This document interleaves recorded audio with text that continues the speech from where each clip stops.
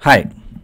So in this video, I'm going to talk about the different areas of uh, risk modeling. Now, risk modeling is a very important part of uh, quantitative finance. Quant finance can be used in many areas uh, in decision making for trading uh, and, and lending, but also for risk management purpose. And risk management is part of both, you know, trading as well as uh, for uh, for lending business, right? And um, you know it's very very important for the for the trading firm or the bank to have proper risk management uh, in place. Otherwise it could incur loss right? So the goal of risk management is not to you know generate more profit but to reduce the losses right? Uh, although indirectly you know that adds to the you know profit uh, of the of the organization right? The various areas of risk modeling uh, right? The various areas of risk management uh, and and and there are different types of models you know built for different uh, areas.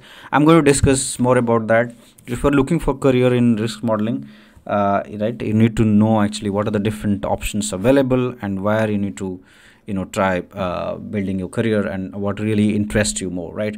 So what is risk modeling actually right? Start with bit of a definition right? It's about use of mathematical models um, to manage uh, risk right? Different types of risk. And we'll talk about many types of risk right? Risk uh, normally people think it's just about you know the risk of uh, it is just credit risk or market risk but there are different other types of risk also uh, right? And it's related to both trading as well as lending right? Two most important uh, piece of businesses uh, that most banks and insurance companies and trading firms they do.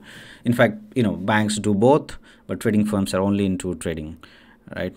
Um, and risk management teams um, you have are there in all kinds of businesses in the field of finance. And modeling in nowadays more uh, used for risk management purpose. In earlier days you know a couple of decades back there was hardly any modeling happening in risk management area although in other areas of finance it was happening but less uh, on the risk management front.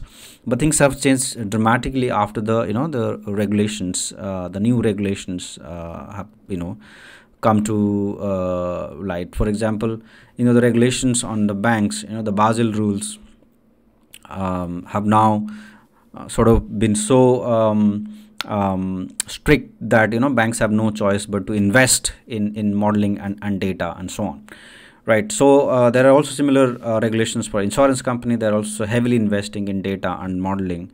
And most of the quants uh, who work in these sort of companies banks and insurance companies they work in the risk management area in the risk area different areas of risk area right? So if you want to work as a quant in in these companies right most likely you'll be working in the risk modeling area. Of course there are other areas for example in the case of you know insurance you have pricing model development which is less related to risk management something that you um, you, you work directly for the business and that can be one quant profile.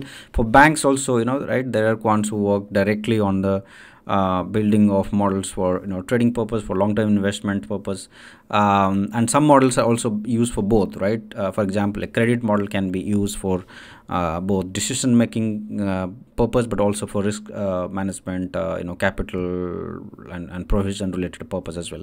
So you know there can be you know a mix of both a bit of both also right? Um, you could also be working in fintechs. They have the risk management teams doing modeling work. You could also work as as a consultant for different consulting firms big four consulting firms. You could also work uh, with private funds uh, as uh, as a risk modeler right? Uh, and there are various areas of risk modeling for example credit risk modeling market risk modeling asset liability ALM risk modeling which consists of interest rate risk and liquidity risk modeling. But you could also work uh, in areas such as you know uh, climate risk modeling mm, and and operational risk modeling and so on and so forth. We'll discuss actually you know what you do in these areas and you know um, the different career options in different areas right? So to start with the credit risk side. Credit risk modeling is perhaps you know the most famous sort of modeling. Um, uh, also there are a lot of it's famous because uh, a lot of jobs are available in this area okay? Uh, the job mm, uh, the uh, the vacancies are more actually in credit risk modeling compared to that in other risk modeling. For a variety of reasons the biggest reason is because it's related to lending and lending is the biggest business for banks right? And uh, the biggest lending risk is the default risk right? So credit risk therefore is so popular. So what is credit risk? Uh, is is about you know the risk of default um, in a business right? You you lend money to a customer the customer is likely to default on the loan and and uh, you know how do you model for that? How do you model for uh, you know chances of uh, you know default and and what loss you will make if somebody defaults if the client defaults right? So and default risk is always there in the business of banking right? Um, it's the cost of doing business right? It's, impossible not to have defaults but uh, the idea uh, behind building models for credit risk uh, management is that you know you know how much risk you are taking right? It should not be more than what you can take right? So uh, so that's you know primarily about uh, credit risk management and you build models for that. You build different models to us you know to forecast to sort of predict chances of uh, default of a given customer. But if that customer defaults how much loss that you will make right? If you can predict uh, to uh, you know great, great accuracy these two events or these two things then you will be um, you'll be knowing well in advance uh, that okay how much risk you run in in your given portfolio and then accordingly you will have you know the the risk management principle in place the mitigations in place for example in terms of having enough capital and so on and so forth right? And but it's not that simple right? It sounds very simple. It, it's, it's a lot more difficult than that actually right? Collecting data building models getting regulatory approval uh, defining the uses of different models and you know the you know different uh, shortcomings of the models and how you mitigate that. It's it's a very long process right? Most banks have got credit risk model development um, big banks have a lot of money invested in credit risk model development. Even the smaller banks are heavily investing nowadays in uh, developing models for credit risk. Right. Um, primarily, you will have you know modeling either for retail clients or for wholesale clients. The modeling techniques could be very very different uh, in many ways. Actually, well, in the, the statistical techniques would remain the same but the way you build model the, you, the approach and and and you know segmentations um, and you know um, for example uh, how you use these models also could be different for retail versus wholesale. In wholesale you could uh, supplement uh, model based decision with also human decisions whereas in retail it could be more automated automated through model. Um, so all these things will be uh, you know important while building models right? Um, you know it is primarily for rating assignment right? You assign a credit rating to customer and based on that you charge uh, interest rate. So that's like risk based pricing. But you could also use that for uh, regulatory related purposes as you know how much capital you should keep. So all that is part of credit risk model development. It's uh, interesting career options for those who are interested in the field of finance but also interested in mathematics and coding. Um, you know most uh, quants as i've said many times in the videos uh, most quants work in the risk modeling area and in the risk modeling area most quant work in the credit risk modeling area. So this is you know therefore such a place uh, where you know there's sim simply so many vacancies. Uh, then the second one is the the market risk uh, modeling area right? This is one area which is primarily related to the trading business. Uh, and and modeling for that uh, is is what uh, market risk modeling is all about. It's, it's, about assessing you know how much loss that will uh, potential loss because of the trading activities in different asset classes, not just you know the stocks, but it could be also on bonds and commodities and and other other uh, asset classes. Um, so you you predict the potential loss in different conditions, including you know the adverse conditions uh, or the stress conditions um, and it's used for a variety of purpose again for capital regulatory related capital allocation but also for internal portfolio management.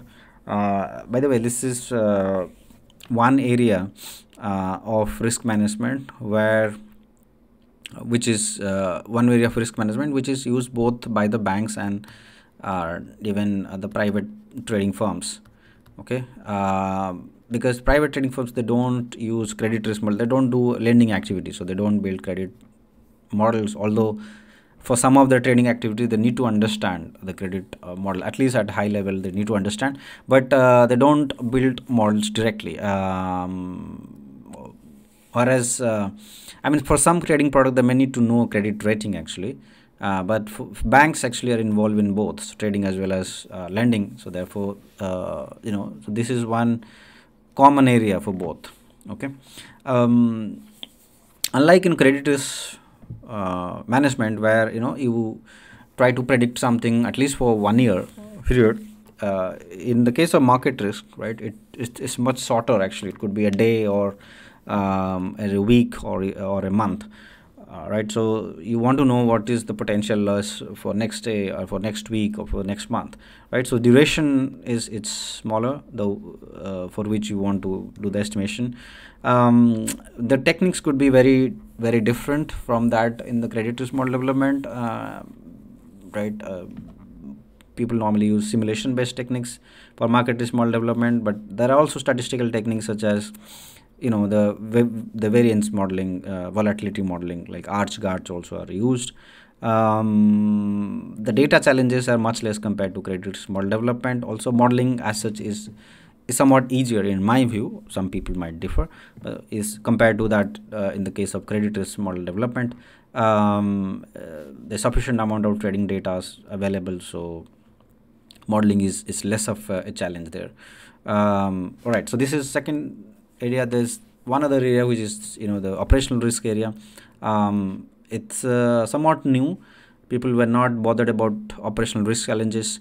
Although operational risk events used to happen you know ever since banks uh, have been there. Banks uh, face these things every single year like a lot of issues. So what are uh, these events right? These are events you know the basically the errors or mistakes made by different processes by people or the IT system, right? It's unintended, right? The, or maybe sometimes intended, but mostly unintended errors uh, because of people or processes or systems. And these are not, uh, these are rare actually, right? You don't see them happening um, on a consistent basis. Um, but they, when they happen, you, you, you make a lot of losses, right? Uh, therefore it's it's known as the rare modeling rare events actually because these events do not happen every day to the bank unlike uh, trading losses that can happen uh, you know every day right? Um, now operational risk is associated with both lending as well as trading business.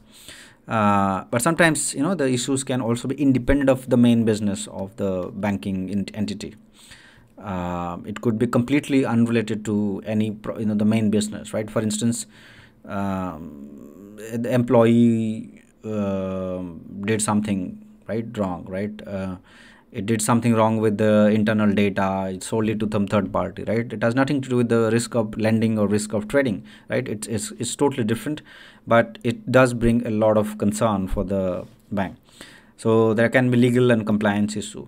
Now earlier there were no models actually built for this sort of issue. It just there was some qualitative metrics used for uh, monitoring purposes, but now regulators want uh, banks to build models for, even for that.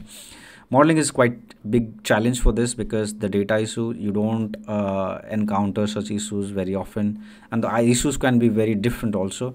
So in order to build model, you need to have the same issue happening, you know, uh, multiple times so that you have some data points right? Um, and so that's a challenge. Um, core statistic is used. Extreme value theory is used. Core statistic is used for modeling. But nowadays people are also use, uh, trying machine learning uh, modeling techniques the anomaly detection techniques. Um, primarily the you know the boosting bagging sort of models random forest svm type models being tried uh, but also you know core statistical models uh, are tried in this area. Then you have the interest rate risk which is part of the ALM risk actually. You know this is uh, about uh, assessing the impact of change in the interest rates okay on different assets. And it could all also have an impact not just on asset but also on liability right? You know there's some pro banking products which are uh, very sensitive to interest. For example the bonds or, or the mortgage uh, even the derivative products uh, many of them are very sensitive to uh, change in the interest rate right? And that could put the bank in real trouble if you know if you know the risk is not properly managed. Um, right? Um, yeah so it can bring a lot of trouble to the bank if if, if you don't really understand uh, how much impact your bank the bank will have because of any potential change in the interest rate. It could be increase or the decrease by the way right? Both can bring risk. Um, right so you have the funding risk but for example the interest payment risk right? Um, uh, even it can bring challenges related to uh, for example uh, refinancing and so on right? Um, you also so uh, modeling that is very important. Uh, there are many very academic models used for uh, interest rate model development. Uh, you don't use this you know regression type models that you use in credit risk modeling in interest rate modeling.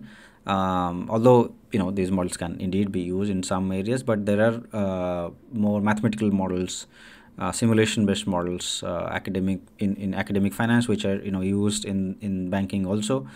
Um, but so therefore it's very interesting. It's quite different actually. If i've done credit risk modeling for some time i think it's uh, imp- important to also know other areas of risk modeling and this is one thing to try. Um, okay so that's uh, interest rate risk modeling and you have also liquidity risk modeling. It's also part of ALM risk modeling asset liability management uh, risk modeling. So it's about you know modeling for inflows and outflows cash flows. Uh, again you use statistical models for this right? You want to predict how much money the bank will get how much money the bank will have to give to the depositors and so on right? If there is a huge mismatch it will create big problem for the bank by the way. There can be a bank run right it has happened many times in the history of banking, so it is not a rare, extremely rare thing to happen. It has happened many times.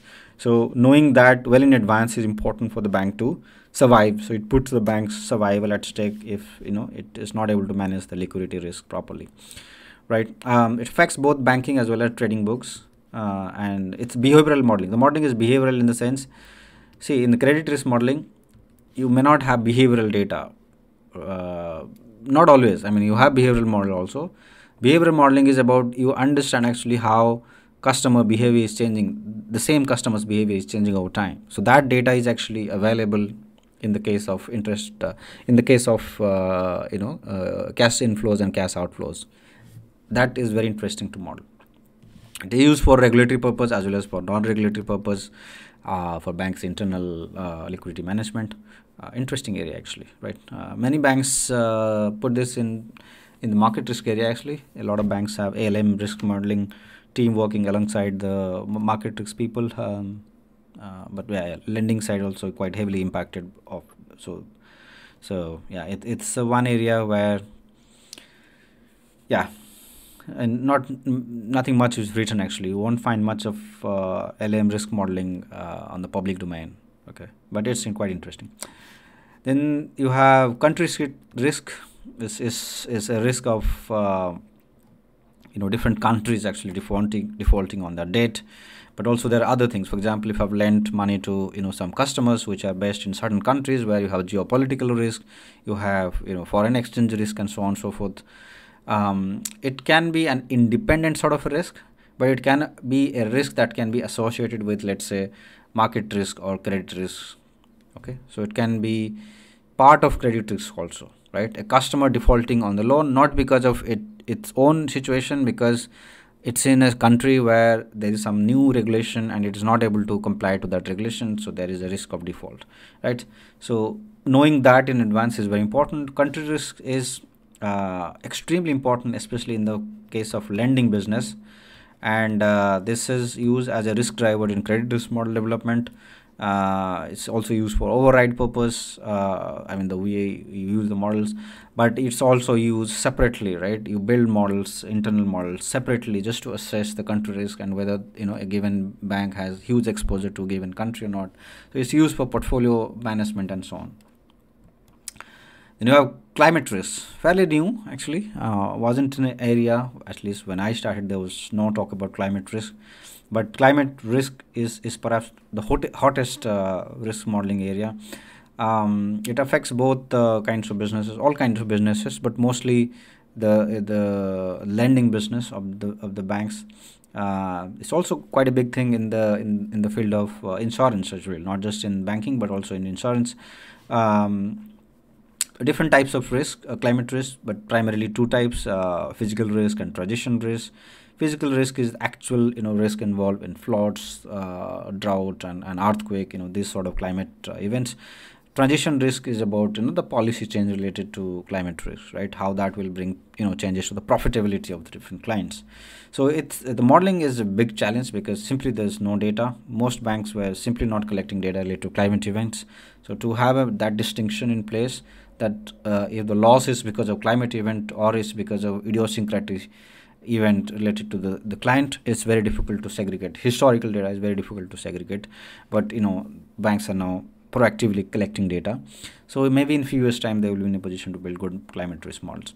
Um, good area actually if you want to work in this area. Um, wonderful area actually. Um, right. Um, you use mostly statistical models, but you can also use uh, machine learning models in this area. The not many banks have been able to build good models yet, but this is one area you know banks are hiring quite big in number. Also, consulting firms are also hiring big in numbers. Um, then there was model risk actually. You know, model risk is not itself a risk area, but uh, I think Bank of England this was the first regulator to recognize this as a risk area in itself. So this is about you know risk coming from the model themselves, right? Across different risk areas. When you use models, there can be chance uh, is you know there can be issues with the model themselves, right? So um, error can happen uh, because the model is is wrong or the data used is wrong or the methodology used is wrong right so there can be many reasons why there can be model risk quantification of that is very important knowing that what could be the model risk in that model is important. And you need to know that uh, well in advance before you use the model right? And there are dedicated teams in all banks for uh, model risk management. Model risk management you have in all areas of risk market risk credit risk operational risk and so on and so forth right? Uh, so this is also one wonderful area uh, for career. Um, you don't necessarily build models here but you assess the risk involved in other people other models right you, you still use some quantitative techniques by the way right? It's not like you don't use anything um, completely new but uh, you certainly use these techniques to assess risk in other models right? Again it's an evolving area uh, and there are many challenges to this. Okay so these are some of the things i want to discuss. Uh, if you want to learn some of these risk modeling areas credit risk modeling or market risk modeling uh, you, know, you can reach out to me. I do have a course on quantitative finance and risk modeling um, yeah i have uh, you know created a very beginner friendly quantitative finance and risk modeling certification. Um, if you can reach out to me I, I will share the details with you. You can find that you know contact details uh, just send me a whatsapp message. You can find that descript uh, the contact details in the description section of this video. If you have questions uh, feel free to reach out to me um, or just uh, you know comment in the video. Thanks